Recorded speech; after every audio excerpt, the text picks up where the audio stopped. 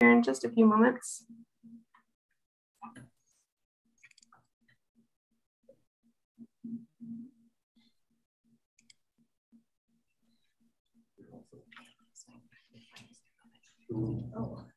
Just get a thumbs up from you students just to make sure are you good to go on your end? Perfect. All right, with that then we'll get started. Um, so hello everyone, my name is Amanda Pfeiffer. I am an education coordinator with the Canadian Light Source. Welcome to another Students on the Beamline seminar. Um, this one brought to you from students from St. Thomas More Collegiate in Burnaby, BC. Um, before we get into their seminar, just have a couple housekeeping items to get through. Um, so as you saw, um, we are live streaming through YouTube. Um, so if you want to keep your videos off, for those of you on the call, more than welcome to. Um, the students will also be sharing a couple videos in their uh, seminar, so that might, keeping videos off might also help with bandwidth. Um, we are also, or they are also joined by um, audience in their library, I believe. Um, just to keep in mind. But uh, for those that are joining in on the Zoom call, you do have some layout options. So in the top right-hand corner, you should see uh, a view icon and you can change the um, viewing layout. Um, you can also pin students or Joe Muse um, to see the speakers as, as they present. The other thing I'd like to mention, um, we will have a Q&A session at the end. Um, so if you do have questions, feel free to unmute yourself or post it in the chat, raise your hand, um, and the students will address it. And as well, we'll be taking questions from those that are in the audience as well um, in, in the library. And yeah, I think that's about it. So um, like I said, this is a Students on the Beamline seminar brought to you through um, students connecting from St. Thomas More Collegiate in Burnaby, BC. Um, since about April 2021, um, the group has been looking at a project that examines uh, battery degradation, nickel speciation, cycling, and temperatures. Um, and they've been fortunate enough to collaborate with Nano One uh, Materials and Tesla, as well as collaborate with their CLS mentors, uh, Dr. Jigang Zhou, and as well as Dr. David Muir. And so with that, the students are going to share what they found out on the IDEAS Beamline. So take it away. Good afternoon and a big welcome to everyone. We are the 2022 St. Thomas More Collegiate Beamline team. Thank you for joining us today as we share experience and findings from conducting virtual research on the IDEAS Beamline at the Canadian Light Source. The goal of our research project is to investigate the potential effects of cycling and temperature stresses on lithium ion batteries, hence the title of the seminar, Batteries on the Beamline. As part of STMC's Truth and Reconciliation journey, we acknowledge that we are on the ancestral and unceded homelands of the Henkaneam and Squamish speaking peoples and extend appreciation for the opportunity to operate the school on this territory.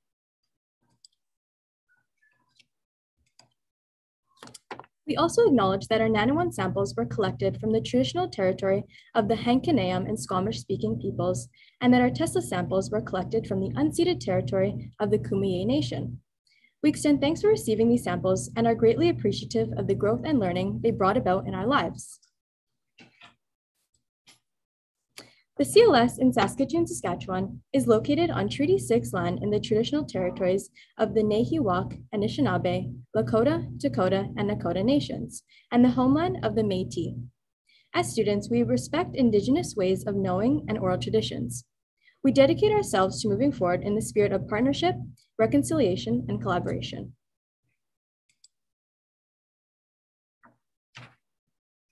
So just a little bit about who we are. We attend St. Thomas More Collegiate, abbreviated as STMC, a Catholic independent high school located in Burnaby, British Columbia, that was established in 1960 and has around 700 students from grades 8 to 12. Uh, we are also the fourth Beamline team to uh, come from STMC. Uh, as you can see on the map, we are situated about 1,200 kilometers from the CLS. And to the left is a picture of our school and track, as well as our group photo. Uh, our group name is the Charging Knights, a play on words with our school's mascot, a knight, and connection with batteries and our experiment using the team or the term charging. We will all quickly introduce ourselves and talk about our plans for next year. So hi everyone, my name is Jenna Babakwa. I'm in grade 12 and next year I'll be studying sustainable agriculture at university. Hi everyone, my name is Angelina Chen and next year I'll be going to UBC to attend their General Sciences program. Hi, my name is Sydney Christensen and next year I'll be studying Applied Sciences at UBC. Hi, my name is Brandon Delazari, uh, and next year I will be attending my grade 12 year at STMC. Uh, hello, I'm Cameron DeWitt, and next year I'll be going to University of Toronto for mechanical engineering uh, with the hope of going into renewable energy or electric vehicles.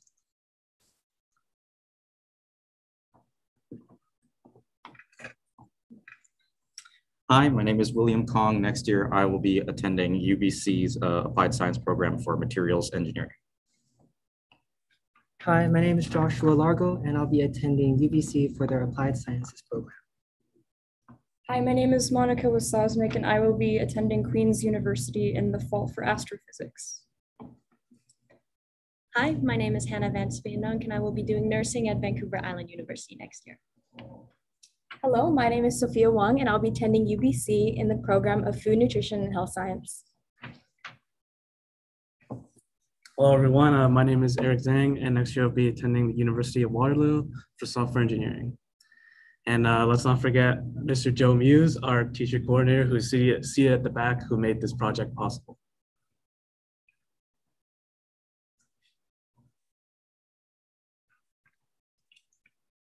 Our research question is, how does temperature during cycling affect the chemical composition of a lithium ion pouch cell? We hypothesize that as temperature and number of cycles increases, the lithium ion batteries will degrade faster, Pictured to the right is a Tesla pouch cell. We experienced that smartphones have a decrease in battery life when exposed to extreme temperatures, and we have observed that as electrical devices are used over time, their battery life also decreases, which suggests a potential relationship between cycle and electrolyte degradation. Now that you know the team, the general idea and aim for our project, I would like to start off with a couple introductory topics. Lithium ion batteries play a huge role in the daily life of every person in this room, both virtually and in person. From powering our cell phones, computers, and electric toothbrushes, all the way to power tools and appliances, lithium ion batteries are what makes this ever growing electronic world a possibility. One of the most current applications of lithium ion batteries globally and nationally is the production of electric cars such as the Teslas that those here in Vancouver see on an hourly basis. How many of you own an electric vehicle? By 2035, Canada's hope will be for everyone in this room to be raising their hands when asked about owning an electric vehicle. Just this past March, the Minister of, In of Innovation, Science and Industry, the Premier of Ontario, and the Mayor of Windsor announced that their governments are welcoming a total investment of over 5 billion Canadian dollars to manufacture batteries for electric vehicles in Canada. A little more current and local, a month ago on May 18th, the Ministry of Natural Resources in BC announced a $3.5 million investment to help support the installation of up to 810 electric vehicle chargers, uh, chargers across the province. As many of you know, electric vehicles are rapidly on the rise here in Canada, and the sales, funding, and production of these vehicles will only continue to grow over the next decade as Canada continues to reach their long-term goal of ensuring all new passenger vehicles sold in Canada are zero emission by 2035. While the previous slide provided some context as to how impactful lithium ion batteries have become in society, the big question still remains. Why is our research important? This answer is split into three main parts. First off, reducing electronic waste. Electronic wastes are devi electronic devices that are nearing its end of life, which are then discarded or recycled. In 2019, the Global E-Waste Monitor revealed a total of 53.6 million metric tons of e-waste created. To give you some context, in 2019, the global population was 7.7 billion. This means there was roughly 6,900 grams of e-waste per person per year, which is equivalent to the weight of roughly 40 iPhones. In addition, our research is significant due to its impact on global warming. With temperatures changing to drastic levels, the batteries that are becoming commonplace in households and businesses across the globe must be able to accommodate these changes. As previously mentioned, current batteries degrade faster in extreme temperatures. Consequently, if average temperatures rise to the level they were at last year, we will not only eventually have a shortage of batteries, but greater amounts of electronic waste. Lastly, with increasing gas prices, more people are seeking to purchase electric vehicles. Due to high gas prices, lithium ion batteries will need to become more affordable in order for consumers to be incentivized to purchase electric vehicles, which will not only save gas usage, but will also help the environment. We tested pouch cells from both Nano One, a local battery manufacturer, and Tesla for our research project. A pouch cell is a softer type of lithium ion cell in which all the cell components are enclosed in an aluminum cover. We chose to study this particular type of lithium ion cell because unlike other cells coated in heavier metals, the soft aluminum shell doesn't prevent the beamline from inspecting the inner contents of the cell. The pouch cells we received from Tesla were prototypes for the new Model Y batteries. For years, Tesla has bought their batteries from external companies, but they are making lithium ion batteries themselves for the first time. Cells of nearly identical composition to the ones we have experimented with will be, will be packaged into larger cylindrical bases, batteries, as seen, in the, as seen in the picture, which will then be used as the power source in the new Model Y vehicles. The pouch cells we received from Nano One are also part of new research and production. Until recently, almost all lithium ion cells have, has, have used the element cobalt in their design. Unfortunately, cobalt is unethically harvested by poor families and children in the D Democratic Republic of the Congo. Nano One has constructed a new design for lithium ion pouch cells without the use of cobalt, and it is these cobalt free cells that we have had the privilege of experimenting with throughout our project. So this is a brief overview on the lithium ion battery structure. The negative terminal is called the anode. There, oxidation occurs, which means that electrons, represented by E, flow through an external wire to the cathode. The red spheres represent the cathode material, and the gray hexagons represent the anode material. The gray box in between the anode and the cathode represents the electrolyte, and the blue ovals within that box represent the solvent molecule. The electrolyte allows for only lithium ions represented by pink spheres to enter from the anode to the cathode. So cycling involves the full charge and discharge of a battery or cell via reduction and oxidation reactions. Our electrical devices undergo charging and discharging. Charging means to plug your phone and discharging means using your phone. Essentially, cycling means to discharge to a constant discharge depth and to charge to a specific capacity. The pouch cells we received have been cycled using a battery cycler, which enables us to specify the rate and the depth of charge, as well as um, the depth of charge and discharge to ensure consistency. All right, so through the remainder of our presentation, we'll be focusing on something called an oxidation state as by studying oxidation states of the elements at hand, we're able to see evidence of degradation. So an oxidation state is something we can give to each element in a compound that tells us its real or apparent charge. During a chemical reaction, different elements or compounds can transfer electrons between each other, so their oxidation state can change. So when a particular species loses electrons in a reaction, it becomes less negative, and therefore its oxidation state goes up. This is called oxidation. On the flip side, as the species gains electrons in a reaction, it becomes more negative. So its oxidation state decreases. This is called reduction. A good way to remember this is the saying, Leo the lion goes gur. Leo being loss of electrons is oxidation, and gur being gain of electrons is reduction. So if you draw your attention to the image on screen, uh, you will see that the yellow circle starts off with two electrons, or those two little red dots, and the green has none. This is the beginning of the reaction. Then as the reaction proceeds right, the two electrons from the yellow uh, species are donated to the green species. As a result, the yellow circle loses electrons and is oxidized. So its oxidation state would go up. The green circle gains those electrons and is reduced. So its oxidation state would go down. So now we're gonna look a little deeper as to what actually happens when we charge and discharge a lithium ion pouch cell. So the image above demonstrates the internal contents of a typical lithium ion battery. On the left is the cathode, which in our cells is composed of a compound containing lithium, nickel, manganese, and some other elements. The green circles that are moving in the image, those represent the lithium ions. And the red and yellow circles that are in the cathode are the other elements that are found in the cathode. On the right, you'll notice the anode, and the little gray structures in the anode is graphite.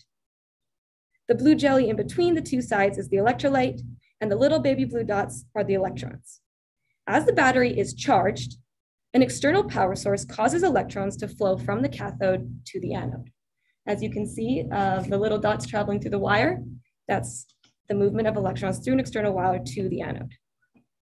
During the charging process, lithium ions also migrate from the cathode to the anode. This is demonstrated by the green dots moving from left to right in the video above. Thinking back to oxidation states on the slide before, you will notice that during charging, electrons are removed from the cathode. This means that during charging, elements in the cathode become more positively charged, and we would expect some of their oxidation states to increase.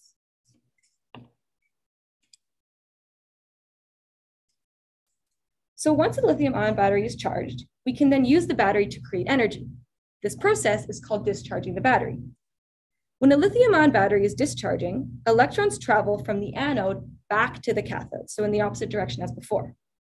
You can see this in the video when the little blue dots travel from the anode through an external wire, through the light bulb, and back into the cathode. It is this movement of electrons on the external wire that can be used to create energy, to power our phones, or to power our devices, or to power our cars. In this case, the movement of electrons creates energy that would make the light bulb glow. In our phones, movement of electrons would power our phones to work. At the same time, the lithium ions in the anode migrate back to the cathode. You can see this in the video as the little green circles move from right to left, where they eventually bond with the elements in the cathode. During this uh, discharging, the cathode gains electrons. This means as the electrons move back to the cathode, the metals in the cathode undergo reduction. They become more negatively charged.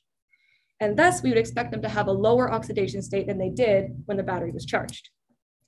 Another thing to quickly point out relates to the little hill that appears at the top of the screen in the corner every so often. In general, electrons want to be in the, uh, in the cathode. Um, to do this, to get them to the anode, we require the use of external energy to move them to that side. This is just like rolling a ball up a hill. We use energy to get the ball to the top of the hill, and once it's at the top of the hill, it has the potential energy to fall back down. Similarly, when we use energy to move electrons to the anode, they have the potential to move back to the cathode, so they have potential energy. Furthermore, when a battery discharges, the electrons move back to the cathode like they want to do. During this movement, the potential energy the electrons had in the anode turns into electrical energy. This is analogous to a ball rolling down a hill, as the potential energy it had at the top of the hill transformed into moving energy, which is why they have that little picture at the top corner. So one more thing to point out that's really important for our project is relates to how battery degradation occurs in these cells. So when a lithium ion battery is charged for the very first time, and the lithium ion batteries pass through the SEI layer, they actually can react with, I mean, pass through the electrolyte, they actually can re react with the electrolyte, that little blue jelly, and force something called the SEI layer. And in this layer, it's a hard, a hard layer that forms um, right in the anode there, and the lithium ions can get trapped in this layer. And once they're trapped in this layer, they no longer are free to move from anode to cathode. So what we see is a loss of mobile, mobile lithium ions. And this is important because what creates energy in a cell is a movement of charge. So when we consume some of the mobile ions, not, not as much charge is able to transport throughout the cell. So the battery degrades. It's not able to operate as well as it could before. So even though the good thing is, luckily, after this SEI layer forms the first time, it doesn't continue to grow that much as we keep using the cell over and over again. However, as we look at degradation in lithium ion battery cells, it often can be traced back to the loss of lithium ions or mobile lithium ions.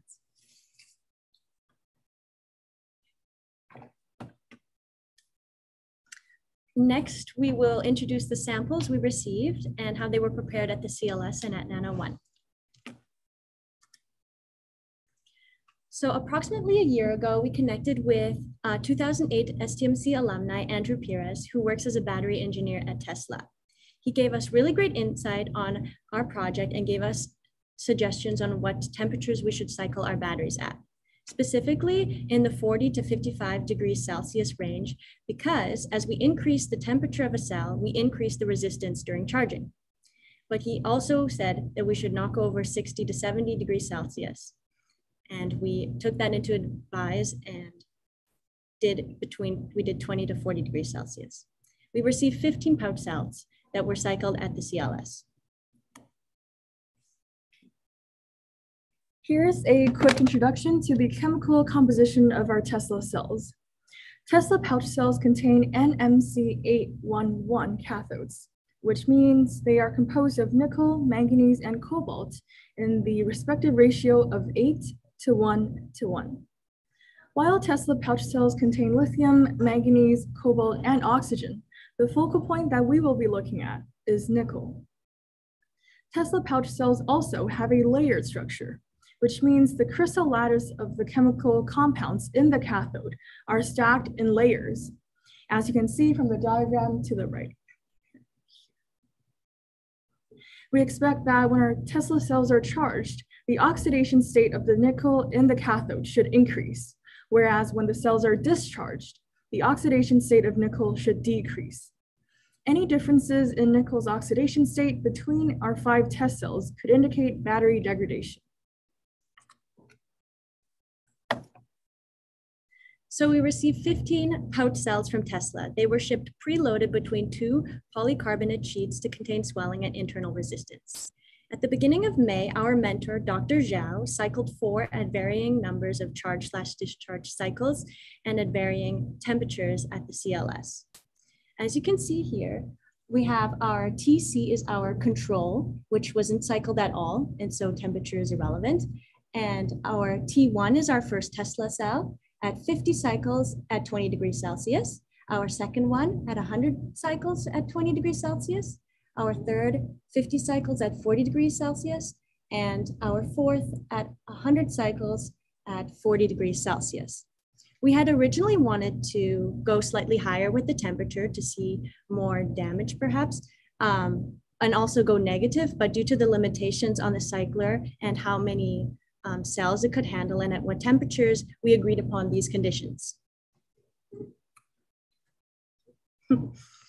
um, also around a year ago, we met with um, the Chief Technical Officer of Nano One, Dr. Stephen Campbell, and he, Nano One is a local lithium ion battery company that makes cells specifically without cobalt, as Sydney explained beforehand. He gave us a really great presentation on general battery knowledge that helped us form our hypothesis specifically to look at the cathode because the anode is graphite, which is so light that X-rays from the beamlines can go straight through it. So it's basically invisible. And that's why we study the cathode. He sent us five handmade lithium ion pouch cells that came pre-cycled. We will now introduce the chemical composition of our Nano One cells and what we expect to happen to the oxidation states of the metals in their cathodes. Nano One pouch cells contain LNMO cathodes, which means they are composed of lithium, nickel, manganese, and oxygen without any cobalt. Nano One cells also have a spinel structure, which means the crystal lattice of chemical compounds in the cathode forms the shape of a spiral, as you can see from the diagram on the right here and on screen. We expect that when our Nano One cells are discharged, nickel in the cathode should be in a plus two oxidation state. And when the cells are charged, nickel in the cathode should be oxidized to plus four due to the removal of lithium ions from the cathode. The oxidation state of manganese should remain the same at plus four, and any other oxidation state in the cathode could indicate battery degradation. As mentioned before, we received five pouch cells from Nano One, four that were cycled at Nano One and were shipped in a completely discharged state to the CLS at varying charge slash discharge cycles. All cells were cycled at 25 degrees Celsius, Celsius at plus or minus 0.1 degrees. If I can bring your attention to the final um, column, we can see that our control um, battery is a dry cell. It has no electrolyte in the middle and so that one was not cycled at all. Our first nano one cell, if you look at the end, we can see that The C is the rated capacity of the cell in milliamp hours. And the denominator is the time in hours. So for example, for the N1 and N2 cells, we have, um, it's a 1C rate, which is the current it takes to charge slash dis discharge a cell in one hour. So for our N3 and N4 cells, this, it takes four hours to charge slash discharge these cells. This equals then the rated capacity, which you can see in column three, divided by the number of hour, hours, and that is equal to the available amperage at that rate. Also, as you can see in the orange and the purple, you can see that the initial capacity is, uh, is higher than the rated capacity for our N1 and N2 cells, but in N3 and N4, it's the same. All cells degrade during operation, so they deliver less capacity at extremely high currents. So the rated capacity should be less than the initial capacity as seen with those cells in the orange and purple. Um, but um, those cycled fewer than that did not see this change as they weren't cycled enough times.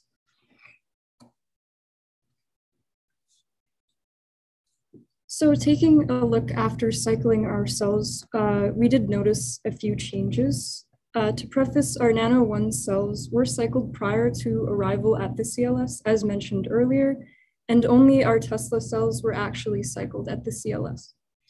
From our Tesla cells, cell T4 endured the most extreme conditions and showed capacity loss, starting with a 1 amp hour lifetime and dropping to a 0.86 amp hour lifetime. This just means that the amount of charge the battery can deliver decreased. You can sort of think of it like when you have an older phone and it dies quicker, that's because the battery's capacity has decreased. Though the rest of our Tesla cells showed none of this capacity loss. From our Nano One cells, N1, N2, and N3 swelled with gas, N3 showing the most severity, while N4 did not produce any gas. Uh, on the screen, we provided an image. Uh, NC is our control cell, and you see that it's sort of flat and N2 sort of has expansion in it, which is the gas that formed. Um, the gas was observed upon opening the packages of the cells at the CLS by Dr. Zhou. We are uncertain when exactly the production of gas occurred, as well as what the gas is, but because a gas was produced, it could sustain evidence towards degradation of the anode, which is composed of graphite. Additionally, it is typical of lithium ion pouch cells to swell when subjected to high temperatures, which does follow up with the conditions the cells were subjected to. With gas production, the solid electrolyte interface, or SEI layer, gradually thickens during repeated charge-discharge cycling. After the original generation of the SEI layer, during, with the anode volume change and electrolyte diffusion, the SEI layer fracturing can occur and cause graphite exposure to the electrolyte. The gas species and generation rate also depend on the material selection and the opening condition, operating conditions, which is why we can infer that the gas produced is most likely carbon dioxide because the anode is composed of carbon.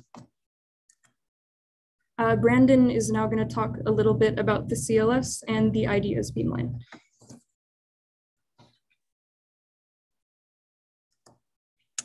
The Canadian Light Source is a particle accelerate, accelerator that accelerates electrons to 99.998% the speed of light. It then bends those electrons with magnets and other devices to produce extremely powerful light rays through a process known as Bremsstrahlung radiation. These light rays are then used to perform experiments.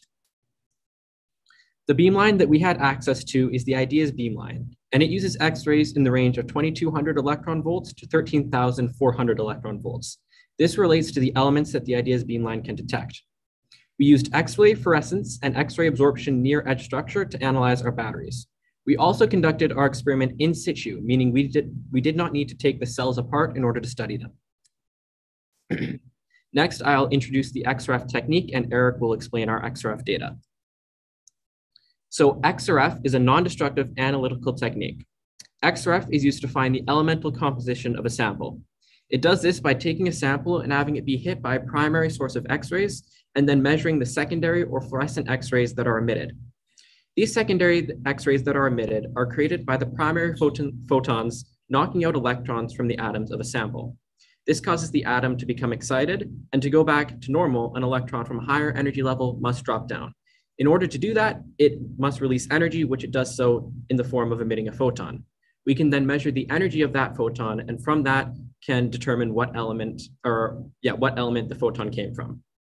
XRF has a large range of elements that it can detect, but it is limited by the beamline's energy level. For instance, IDEAS can measure from element phosphorus to element krypton.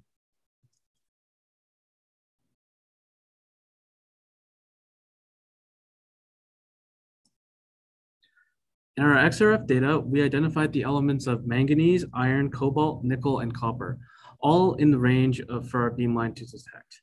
Each element peaks at a specific energy level provided by the beamline. For example, a peak at 800, 8,000 electron volts signifies the presence of copper. The higher the peak, the higher the relative concentration of that element. This is an example of an XRF graph of one of our Tesla batteries, T4. This graph indicates copper is the most prominent element as it has the highest peak.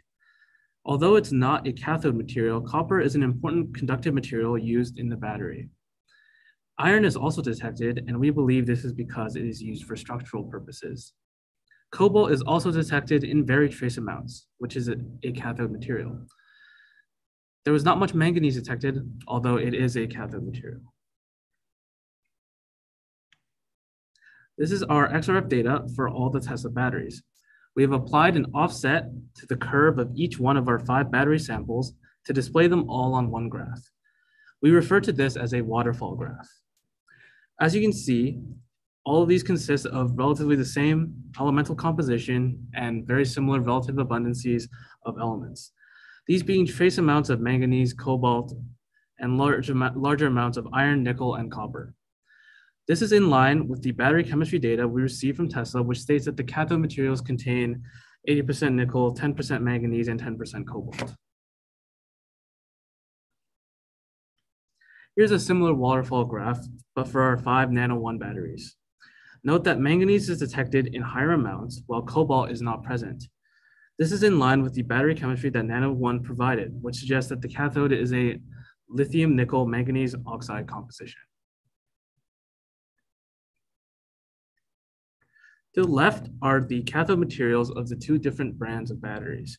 Notice that Tesla has nickel, manganese, and cobalt in an 8 to 1 to 1 ratio, while Nano One has a nickel to manganese ratio of 1 to 3. To even better see the differences between the elemental composition of our Tesla and Nano One batteries, we average the values of the five Tesla pouch cell samples and then our five Nano One pouch cell samples. The y-axis here can be used to measure the relative abundance of every individual element. As you can tell, Nano One batteries have a higher relative uh, abundance of manganese, iron, and copper, while the Tesla batteries have more nickel and cobalt. This is perfectly in line with the cathode material formula provided by both companies on the left.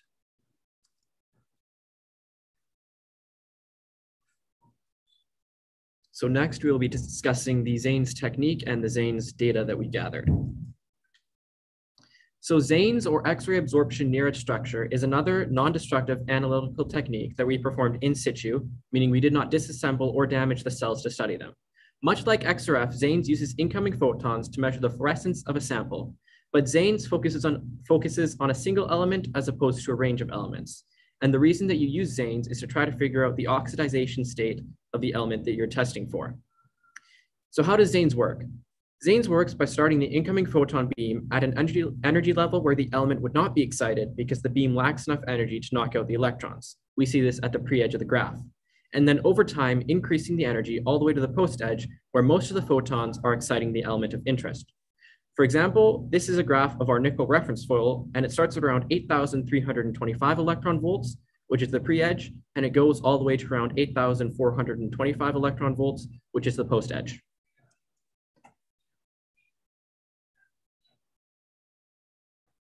Uh, so in the reference graph on the right, the nickel and nickel oxide is in an oxidation state of plus two. The energy for nickel oxide in electron volts is just over 8,350. On our graph of discharged Tesla cells, we see the nickel peak occurring at about 8,355 electron volts, suggesting a slightly higher oxidation state than plus two. Based on our knowledge of Tesla cells, gleaned from various experts, the oxidation state should be around plus 2.6, which is an average value of the nickel oxidation state in the cells, which lines up with our data. All five cells show virtually no change, or sorry, show virtually identical graphs. Even T4, which was cycled 100 times at 40 degrees Celsius and showed capacity loss from 1 amp hour to 0.86 amp hours, did not show different nickel oxidation states when compared against other Tesla cells. The peak pictured in the last slide occurred at about 8,355 electron volts.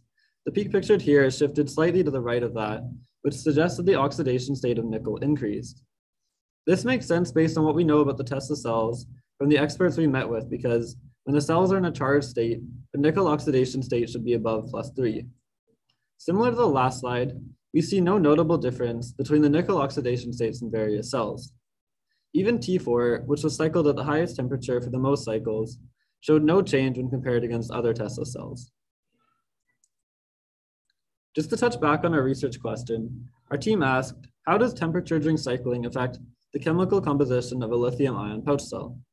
The Tesla cells we tested showed no variation in nickel oxidation states, and even T4, which endured 100 cycles at 40 degrees Celsius, showed no notable change in nickel oxidation state despite showing capacity loss, which suggests that our hypothesis may have been incorrect in asserting that higher temperature will result in more degradation.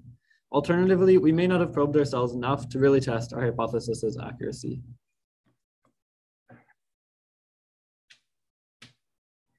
Now that we've looked at um, XANES graphs of nickel and Tesla pouch cells, we'll move on to discussing nickel and nano one, and nano one pouch cells.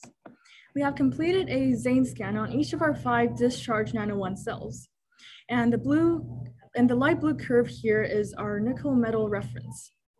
By overlapping our graphs, we can identify that the graphs of our four experimental group samples, N1, N2, N3, and N4, are very similar in shape. One key difference that is shown here is the orange curve uh, which is our control group sample, NC, that has not been cycled at all. We are able to see notable change as soon as the cells begin to be cycled, namely a slightly lower peak energy on our control cell. This is quite an interesting observation.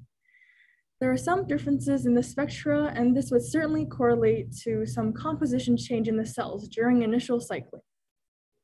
Let's now zoom in on this slight discrepancy. Shown here is a close-up view of the peak from the previous slide.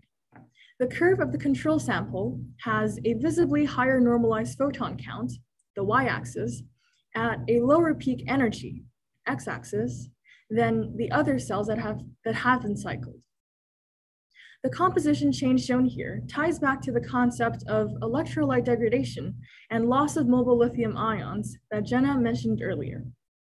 When a cell is charged for the first time, lithium ions will migrate to the anode and react with the electrolyte, forming a solid layer that traps lithium ions.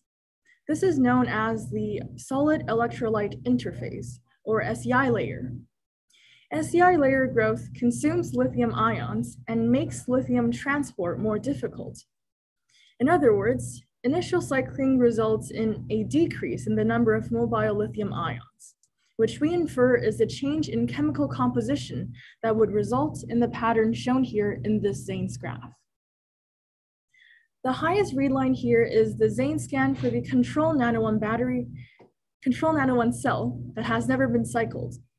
As there is no degradation associated with this unused cell, the nickel in the cathode at its current discharge state has an oxidation state of plus two.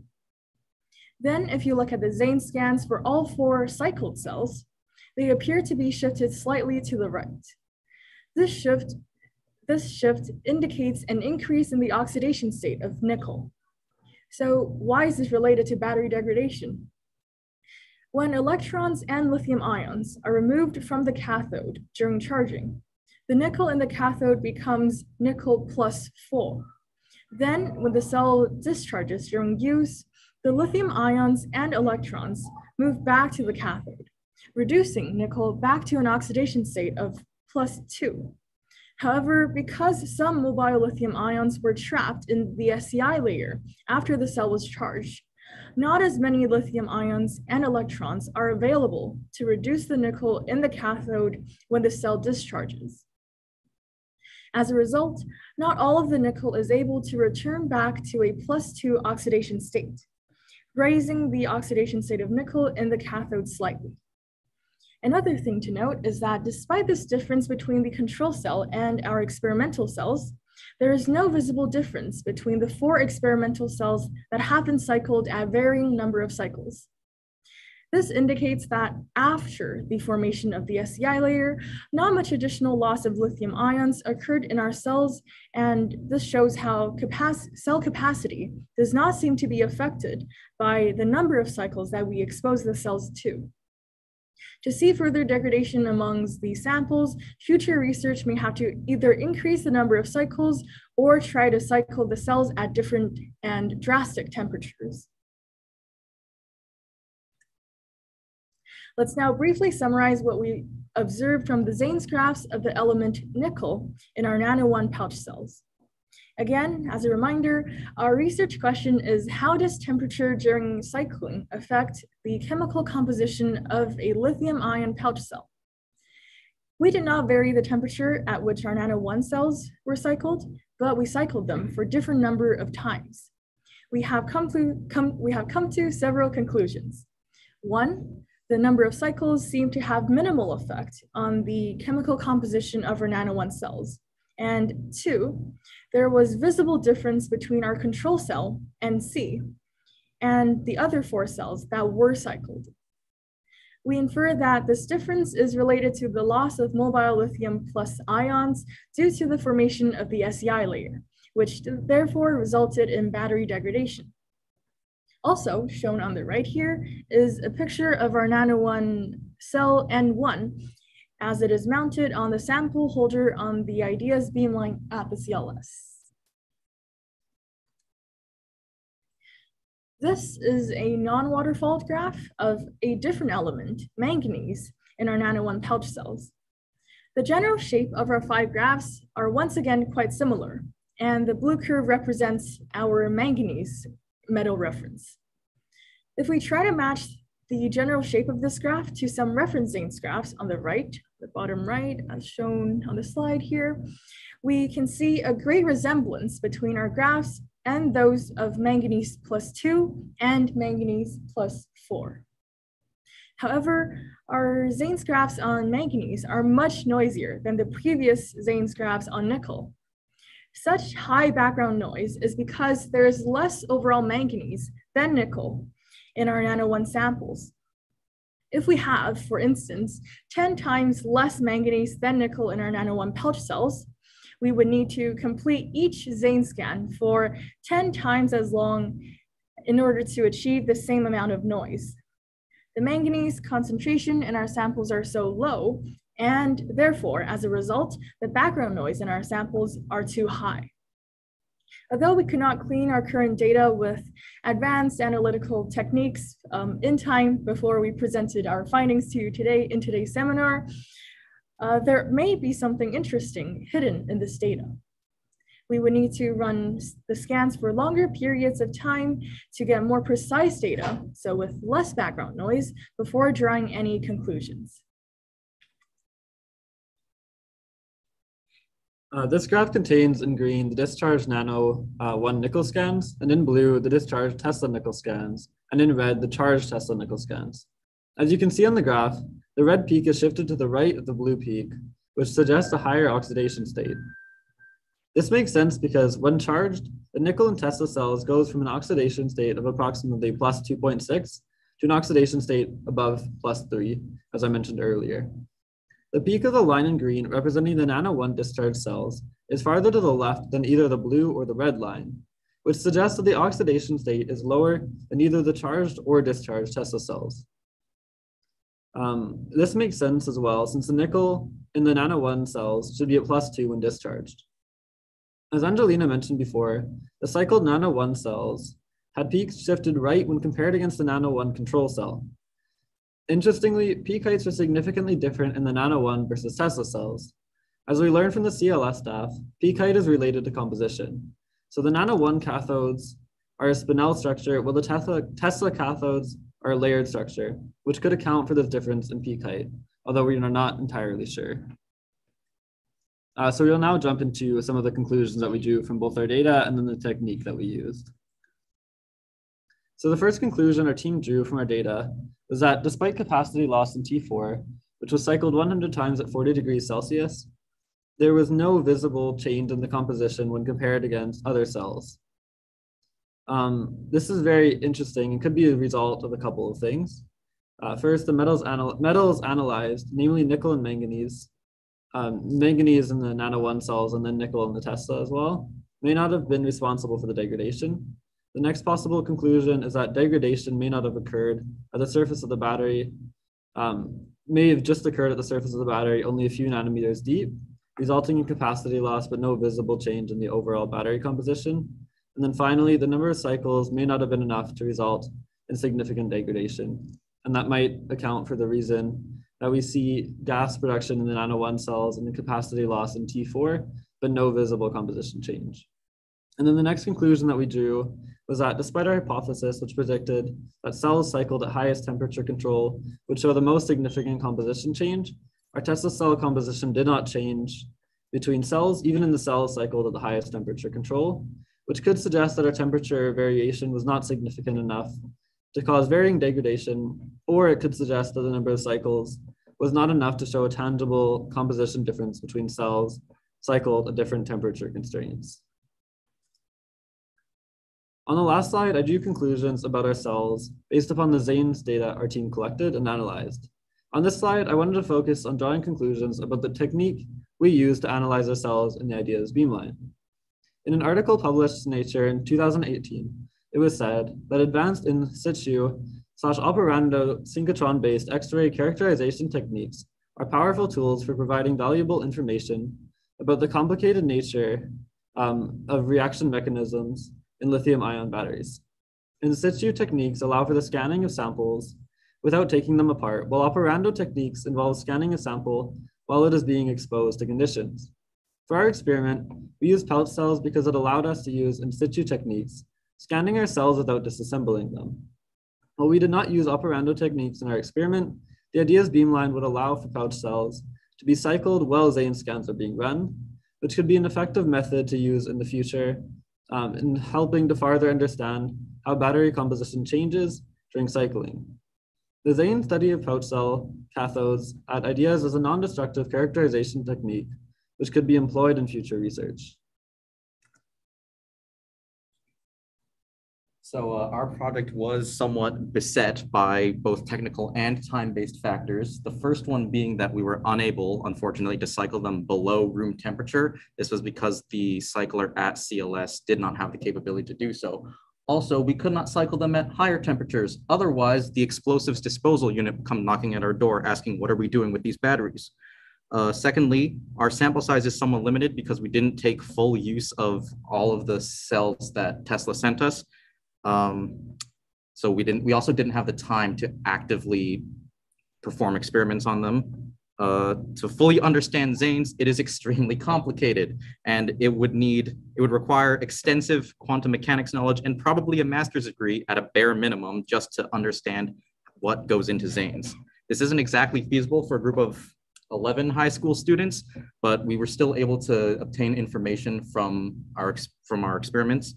Uh, we were also under a pretty strict timeline. Uh, by the time we had shipped, there were only a maximum of a couple of months to actually get them cycled at CLS. So it was a shame because we couldn't get more extreme data, which would have helped make the results clearer. And finally, we only had eight hours to operate the beamline, which limited the amount of overall scans we could do. So how could our research impact society? First of all, due to the complex nature of battery construction in general, uh, that area is not quite as mainstream as other fields. Like everyone knows what a battery is, but not many people know the intricacies of what goes into a battery. So hopefully this can raise a bit more awareness about the topic, especially within the younger generation. Uh, secondly, with the rising threat of climate change, the advent of cleaner energy is becoming an ever increasing, ever increasing priority. And as we've seen with the gas prices nowadays, the demand for electric vehicles is now becoming an increasing demand. In a similar vein, temperatures and weather conditions in Canada can fluctuate wildly, and these factors exacerbate the degradation of batteries. If electric vehicles are supposed to be the way of the future, then that is a problem that needs to be solved. Uh, and as mentioned earlier, companies are investing more and more into battery research, probably because of the our world is burning thing, which makes it an economically vi viable field to pursue in the future. Finally, a lot of student in the beamline groups uh, focus a lot on organic composition rather than the technical stuff we're doing here. And as Cameron mentioned earlier, in situ techniques are extremely, are they're a very viable way to utilize the beamlines. So hopefully with this, we can broaden the scope for other student groups in the future. Uh, for future research, um, if we had more time, we would have scanned for cobalt and iron. Cobalt isn't in the Nano One batteries, but Tesla has it, so it would have been interesting to scan for it. While iron is slightly, I don't want to say pointless to look at, but it is more is more structural than the other elements that we looked at. Uh, still would have been interesting to look for it. Um, and also, we didn't have time uh, to look at the charged Nano One cells, unfortunately. But um, if we were to do like a sequel, beamline batteries on the beamline part two, uh, we would definitely prioritize that in the future. Um, we would also try and find a way to cycle them at colder temperatures because we weren't able to do that for this one. And we would try and get them shipped faster so that way we could get a higher number of cycles in and thus more conclusive data.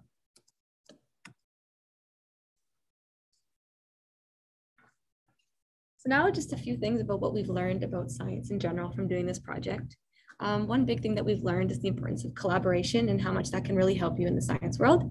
When you first, you know, get into a project like this, I guess I, none of us really knew what to expect, and it was a lot. And there's a lot of intricacies and new science techniques you got to pick up, and it can be overwhelming. But forming really good re relationships with different people, like Andrew Pires from Tesla, which is an alumni from our school, and Dr. Stephen Campbell, which has been so helpful, and the CLS staff, it's really helped us get through the process. Um, another thing that we've really learned is graphing skills which is going to become hugely important when we come into uh, post-secondary next year. And a lot of us are pursuing science and graphing is a huge part of the science process. It helps you see data and has, helps you find connections. And um, I feel like all of us have been able to see new connections between data that we actually weren't able to see before. And that's going to help so many ways. And another thing is the scientific process. Just knowing that sometimes when you do science, it's not always a concrete answer. You know, you think you're going to go into a experiment and come out with like this super explained answer of everything and you're just going to know everything but that's really never the case unless and if it is great but oftentimes it just involves a lot of thinking a lot of collaborating a lot of people contributing to research altogether from all over the world and then you kind of make the best hypothesis and best conclusions that you can and that's really what science is. So it was a cool journey to learn all those new stuff about science and i hope to continue that learning and i hope about all of us hope to continue that learning next year in our future careers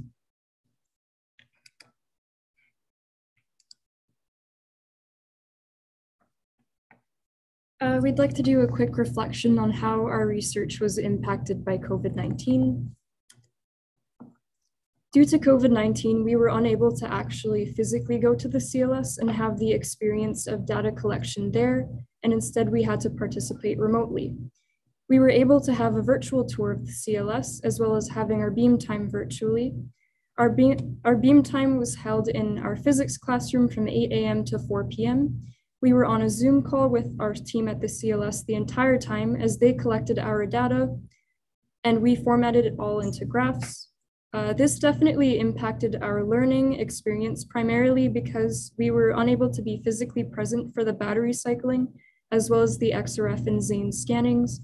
It was not as hands-on as it could have been, though science continues despite all the challenges we face. COVID-19 did not impact our preparations and initial research, Close to all our meetings were virtual. Even without COVID-19, we would still have virtual meetings because most of the people we were in contact with do not live in BC.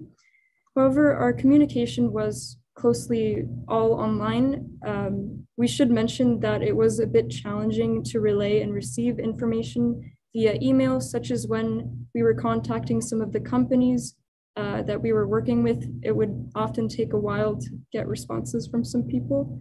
Uh, but regardless, all of the virtual meetings were engaging and informative. We were fortunate enough to have Dr. Campbell come and talk to us about batteries in person.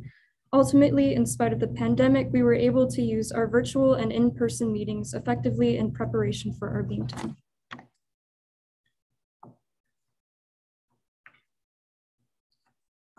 Finally, we would like to give thanks to the important people that have helped us tremendously with our research.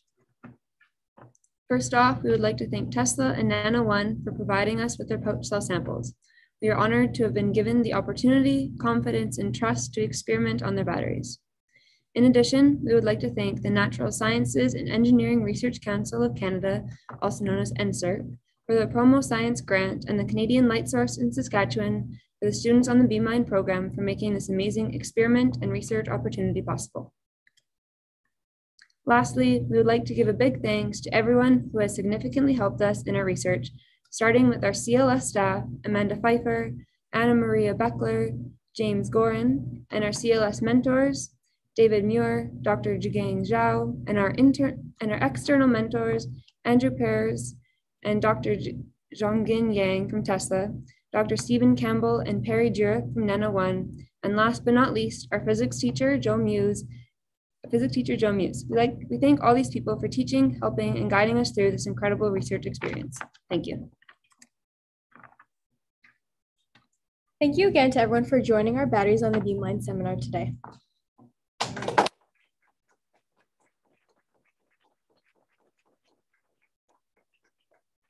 We will start with questions from the Zoom chat first.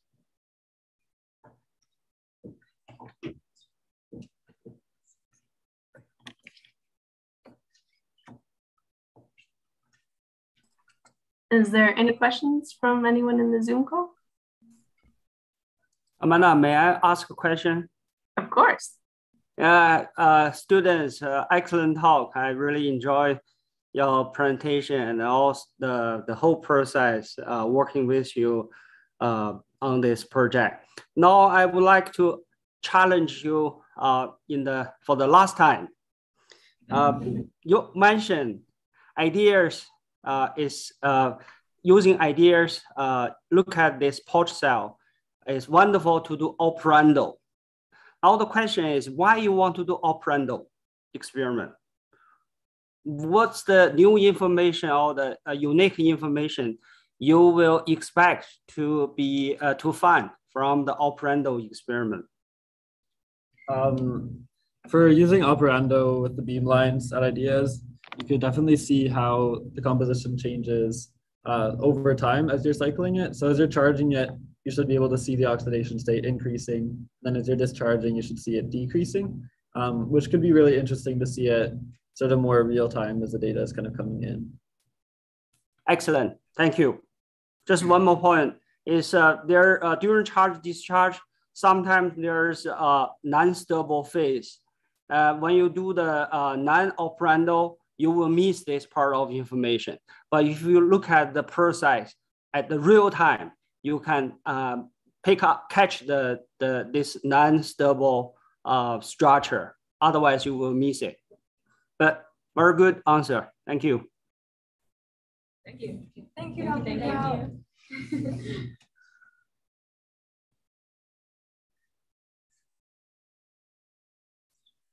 Any other questions from those uh, listening to us from online on the Zoom call? Anyone? Um, I have a question. Uh, this is Renee Merzlak. Uh, uh, so anecdotally, I heard that cooler temperatures uh, also have a huge impact on battery health. And uh, I know that you weren't able to uh, use, you weren't able to test that given your, um, given the equipment that you had to be above room temperature. What equipment would you be, do you know what equipment you would be able to use to conduct experiments that are um, below room temperature? Like let's say maybe closer to uh, temperatures that we experience in Canada in the wintertime, like let's say four degrees or something like that? Just wondering. Um, so when we first came up with the research idea to cycle them at colder temperatures, we actually like were brainstorming ideas of charging batteries and even just fridges or freezers to get like that negative 12 or negative 40. But um, logistically trying to figure out how to get like a cord through a freezer or through a fridge was kind of difficult. Um, but with that being said, there probably is scientific gear out there that could charge batteries at colder temperatures that we just didn't have access to. And figuring out how to charge something in a fridge was a little bit beyond us at the moment. So um, that's a great question and probably something that would be great to look into scientific ways of charging things at four degrees Celsius. Um, but yeah, that's kind of what we, the, our thought process of uh, cycling them at cooler temperatures. Thanks. Good work, you guys. Thanks. So we also had a question in the chat um, from Tess saying, great presentation. My question is, how did you decide on the topic? oh, uh, okay. Well. Uh, it was it was my idea, but there were other ideas too. Um, one of them was looking at the uh, biodegradable food containers, and there was another one about uh, salmon, yes, and bones as well. Uh, we chose this one just because uh, the previous Beamline projects had all been uh, revolving around organic materials, and this would be the first project that we've done so far that applies the same techniques to something uh, artificial and man-made. So that was our reasoning behind choosing lithium-ion batteries this time around. Also, um, also because we live in Canada where there's um, often like like depending on which region you live in, there's cooler temperatures. For instance, I think this past winter got really cold at like negative 15 to 20 degrees Celsius or something. I like to garden, so I heard from my friends a lot of their plants die. That's how I know about the uh, cooler winter here. And so therefore, um, by studying lithium ion pouch cells and whether they do, like what to what degree they degrade to um, at different temperatures and seeing if we have potential solutions for that is very relevant and applicable to our daily lives here in Canada and also you know, as many of us have mentioned already, um, the world of electric vehicles is growing. And so, you know, doing some research in this field and keeping ourselves infor informed and also introducing this concept of battery degradation, about like everything about electron electronic vehicles to everyone here and on the Zoom call. We just thought it, it's quite meaningful. And yeah, that's another aspect of why we chose this project. I'm sure my Saskatchewan counterparts have their ears ringing when they hear the minus 15 that you had to deal with the extreme cold, but I won't get into that comment. I uh, don't want to spark some provincial rivalry, but um, we can open the floor to questions perhaps in the audience there in your library. If there's any questions they have. Oh no. How did you decide on uh, how many cycles you were going to uh, to set at? Like, how did you decide on 100? How did you decide on 50? Um, well, at first, oh, sorry. And repeat the question. Uh, yeah, so the question was, how do we decide on how many cycles we should expose each battery to? Um, the answer is a lot of that was due to how much time we had to actually cycle them. Uh, when we got the batteries, then we just send them to the CLS. And then by the time they got there, we only had a few months before our, uh, our uh, scheduled beam time. So um, doing anything beyond 100 might have been a little unrealistic since it takes about an hour to charge them. And um, that's a lot of time and a lot of time from the scientists there doing it for us.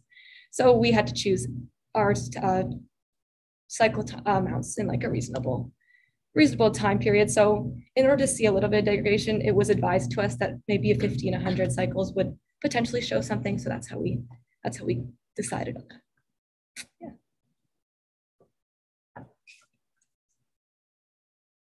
Yes. Another question. This is Stephen Campbell from Nano One. I noticed that our cells puffed up, but we'd already done the cycling of. So what do you think is happening? That what's driving that gas production in storage?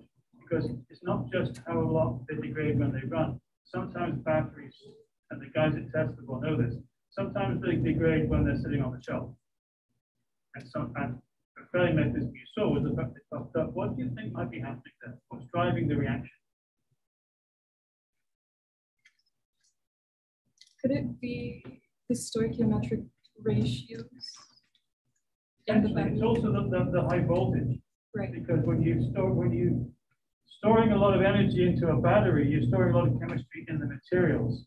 They then become very high energy and they're able to do other side reactions to produce the gas. Yes. Because you put energy in it, it goes somewhere. Sometimes it goes where you don't want it to go.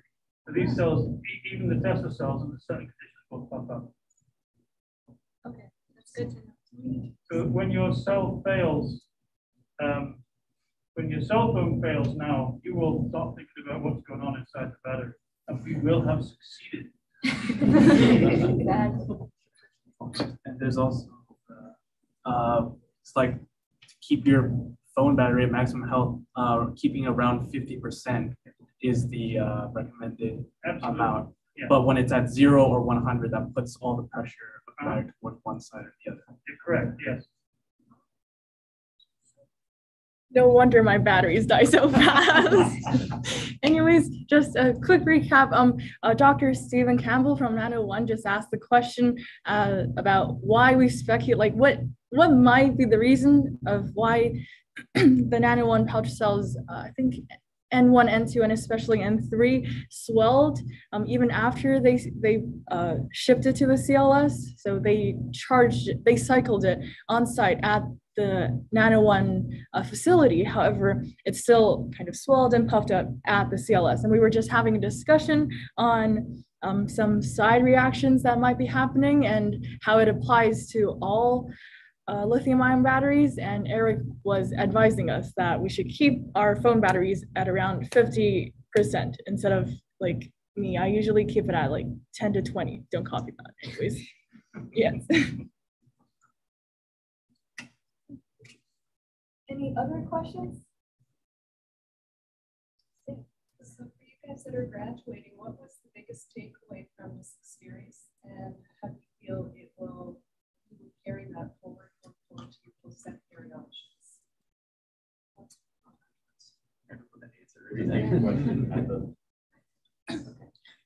Um, we had a question from our in-person audience, and she asked for our graduating uh, students, like basically everyone, all 10 of us except for Brandon, what are some of our what are some of our key takeaways, like some of the main lessons we learned, and how we think this project, uh, what we learned from this project, will help us in future years in our undergraduate careers and beyond. So kind of what Janet talked about, how collaboration is really important to being successful in an experiment or research project. Uh, going to university, I'm not going to have a lot of knowledge, and so are a lot of people there, but finding those resources and connections to help you be successful and gaining that knowledge is really important.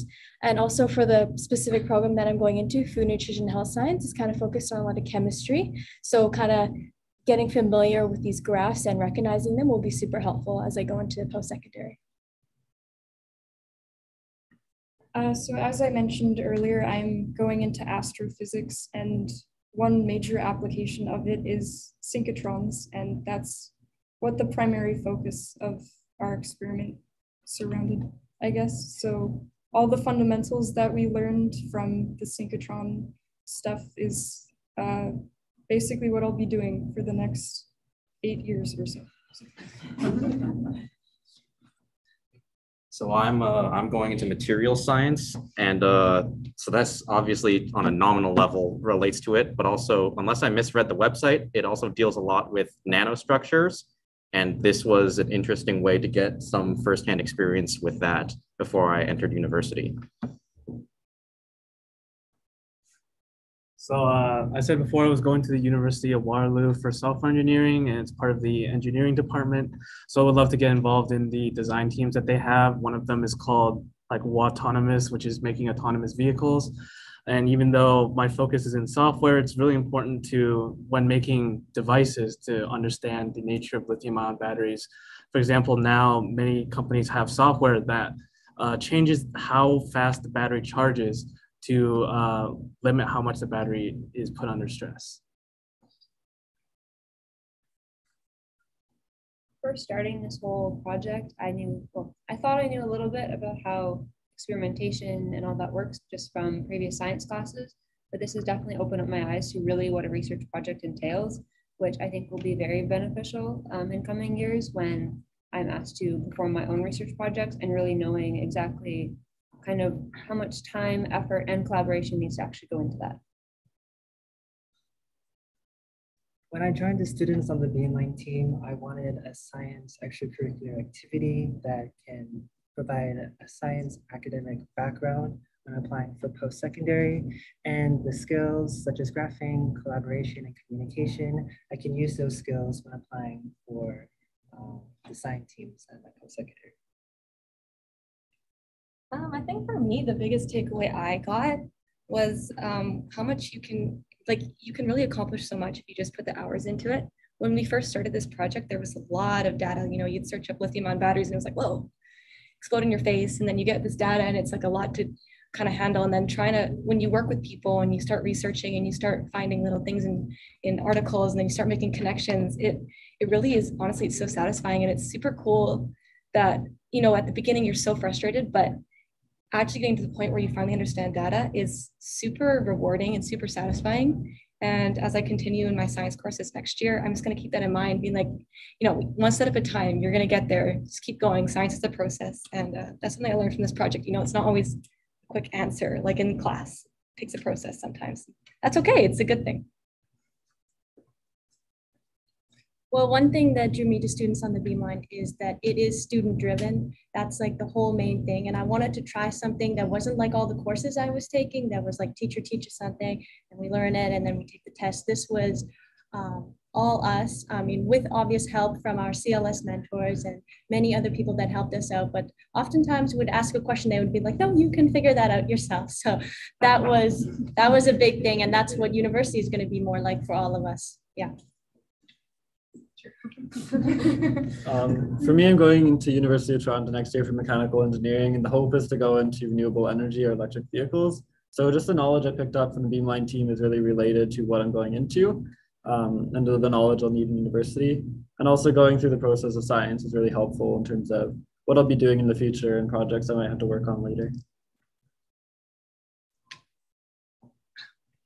Um, I'm going into uh, general sciences at UBC next year, and I think this the students on the Beamline program with its uh, what's that called? It allowed us to go through each step, like each process in the scientific uh, method by ourselves, and so student life project, and I think being able to collaborate with many other experts in the field throughout this journey was just a super cool process.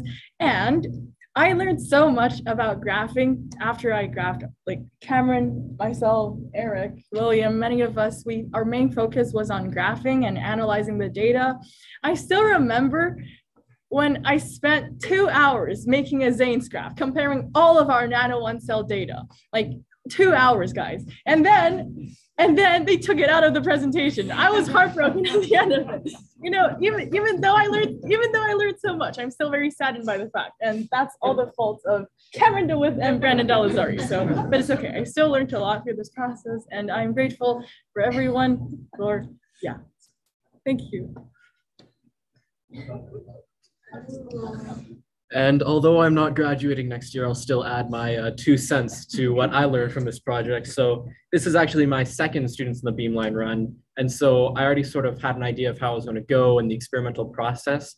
But really what I took away from this one is how valuable collaboration is because our previous project was not nearly as technical. And so just um, sort of being able to reach out and find these answers from other people who are extremely knowledgeable in this space is an invaluable skill and I feel like that will definitely help me in my future. Are there any other questions in the audience? If not, that will sum up our presentation. Thank you to everyone for coming out. I was going to say, just to add on to that, that will conclude our call, um, the Zoom call. So thank you everyone who joined in on the Zoom call, as well as in the library there, um, as well as the mentors that stopped in. And um, we'll continue talking, but I will stop the recording. And just again, congratulations. That was really well done, really well spoke. And yeah, just congratulations, you guys. Thank you.